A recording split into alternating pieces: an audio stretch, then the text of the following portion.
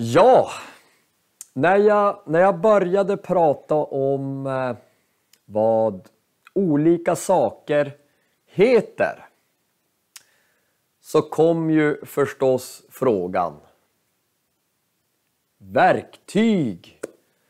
Vad heter verktygen på svenska? Och det är ju förstås en, eh, en jättebra fråga. Därför att eh, vi använder ju verktyg eh, ganska ofta. En del gör det varje dag när man jobbar, arbetar. Andra gör det mer sällan. Men det är väldigt bra att veta vad verktygen heter. Så, vi ska prata om verktyg och vi börjar här borta med vårt första verktyg. Och det är förstås en, en hammare. En hammare. Så vi har en hammare och har man en hammare så måste man förstås ha en spik också. Så en hammare och en spik. Och då kan man säga att man spikar. Det, det är verbet. Jag spikar. Mm. Hammare och spik. Eh, sen kan man förstås såga. Såga med en såg. Så jag, jag sågar. Sågar är också verb. Mer. Ja, vi har en sån här en skruvmejsel. En skruvmejsel. Och det finns ju lite olika skruvmejslar. Så vi har mejseln som har ett, ett, ett rakt spår. Så man säger spåret är rakt. Och då säger vi skruvmejsel. Men det finns de här som är som, som ett som ett kors. Så här nere är det som ett kors. Det kallar vi stjärnmejsel. Och sen finns ju de här också som, ja, som ser ut som en stjärna. Men de kallas ju torx. Och jag tror att torx är ganska internationellt. Det finns i många språk. Torx. Mm. Men när man använder den här så skruvar man. Man skruvar, alltså en skruvmejsel. Mm. Men de flesta idag använder en sån här. En sån här. En skruvdragare. Och det är förstås jättetrevligt. När man ska skruva hyllor till exempel så är en skruvdragare väldigt trevlig att ha.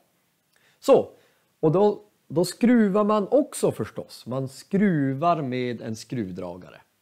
Och här ute, längst, längst ut behöver man små, man sätter i skruvdragaren här ute olika, olika bits heter de. Så man kan använda olika bits. Det kan vara sån bits eller sån eller sån. Så det kan vara stjärnbits, torx, men man sätter olika bits på skruvdragaren. Mm.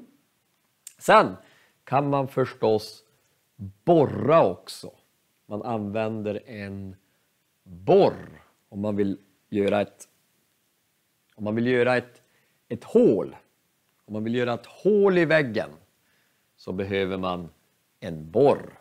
Mm. Så, mer! Eh, ja, när man skruvar förstås så behöver vi en, eh, en skruv. Man behöver en skruv så man kan skruva. En skruv. Eh, när man jobbar och bygger så måste man ibland mäta saker. Man mätar. Och det gör vi ofta med en sån här. En tumstock. Och den här kan man ju, man får, man får vika ut tumstocken. Eh, det är en tumstock. Eller så mäter man med en sån här. Ett måttband. En sån här, ett måttband. Mm.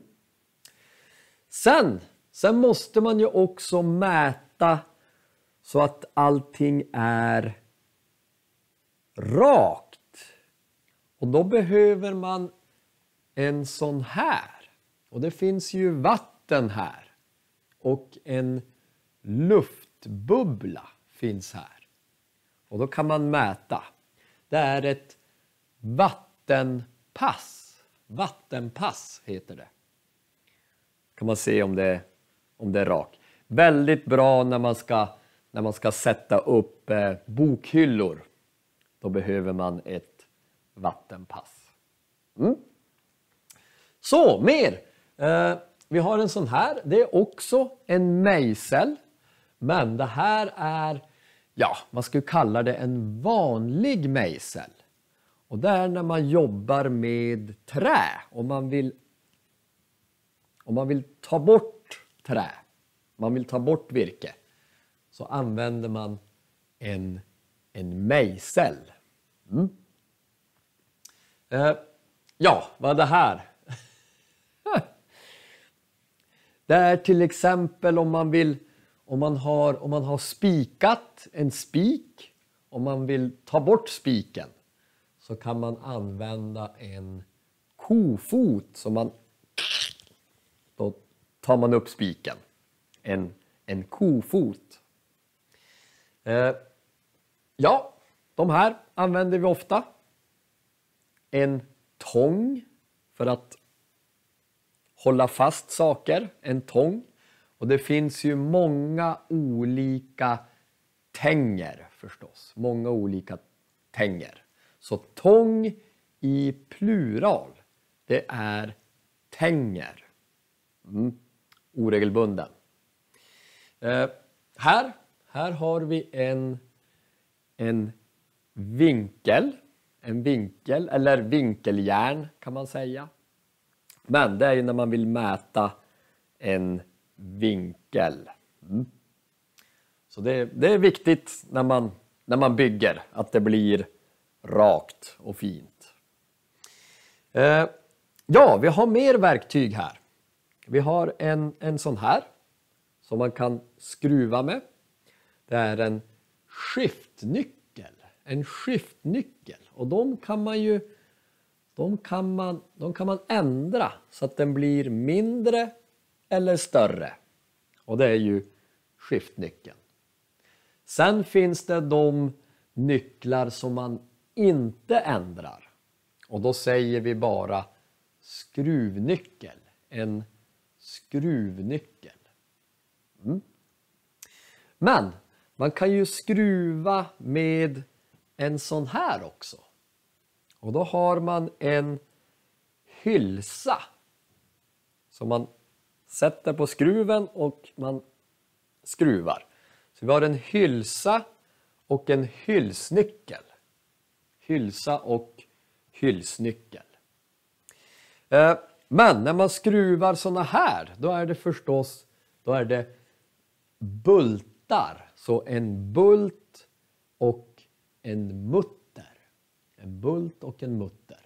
Och de, då använder vi förstås de här verktygen. Skiftnyckel, skruvnyckel, hylsnyckel och det är till bultar och muttrar. Mm. Mer! Ja, en sån här har ni kanske i, i bilen. Så man kan, man kan veva och så går den upp. Och det är till exempel om man vill hissa upp bilen. En domkraft. En domkraft. Och det finns ju olika sorter. Olika sorters domkrafter. Eh, det här är ju vanlig som man har i bilen. Och då vevar man och så går den upp och så kan jag byta däck på bilen. Mm. Ja, vi har en hyvel, en hyvel som man kan hyvla. Och då tänker ni, ah, osthyvel. Ja, det är samma namn och då hyvlar man. Man hyvlar ost, men det här är ju för, för trä förstås. En hyvel. Idag så finns det ju eh, maskiner, elhyvlar. En elhyvel som, som gör jobbet och då är det en maskin förstås. Och en yxa. En yxa är ju bra att ha om man till exempel är i skogen eller man vill hugga ved. Då har man en yxa. Och verbet hugga använder vi till yxa. Så, eh, många verktyg och ni får, ni får gärna titta om ni vill. Och eh, jag har säkert glömt något verktyg men eh, ja, skriv gärna i, i, eh, i kommentarerna. Tack för mig, vi ses!